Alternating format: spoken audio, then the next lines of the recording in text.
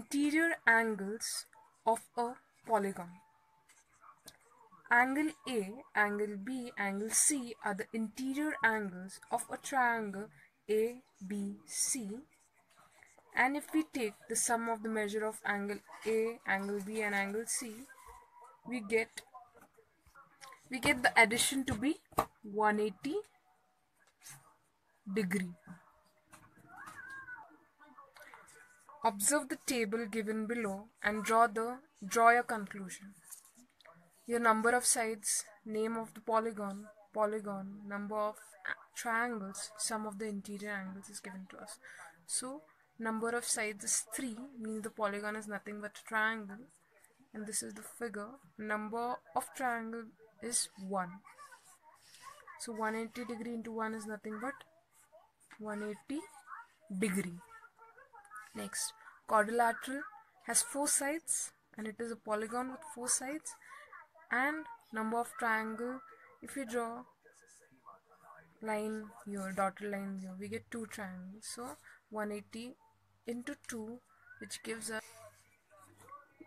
360 degree.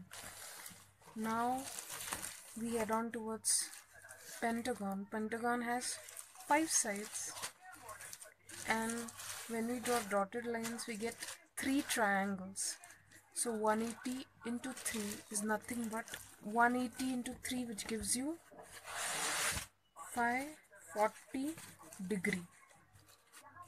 Hexagon is a polygon with 6 sides and when we draw dotted lines we get 1, 2, 3, 4, 4 triangles. Therefore 180 into 4 gives you 720 degree.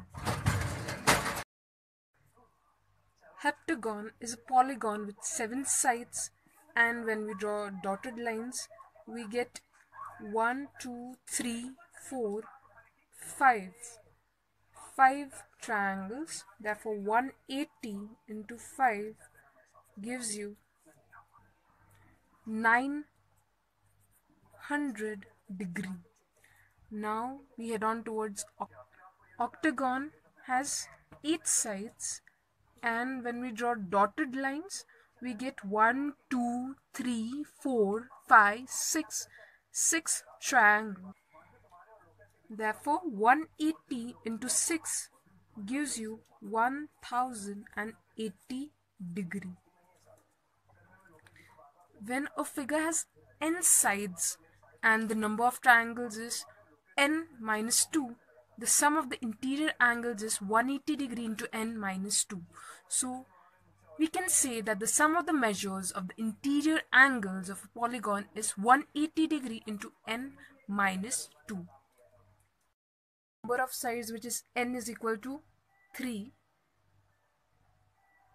so n minus 2 is equal to 3 minus 2 which gives you 1 therefore 180 degree into n minus, minus 2 which is 1 year.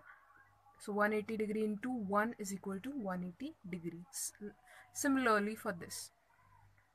Again your number of sides which is n is 4 so 4 minus 2 gives you 2 therefore 180 degree into 2 is equal to 360 degree.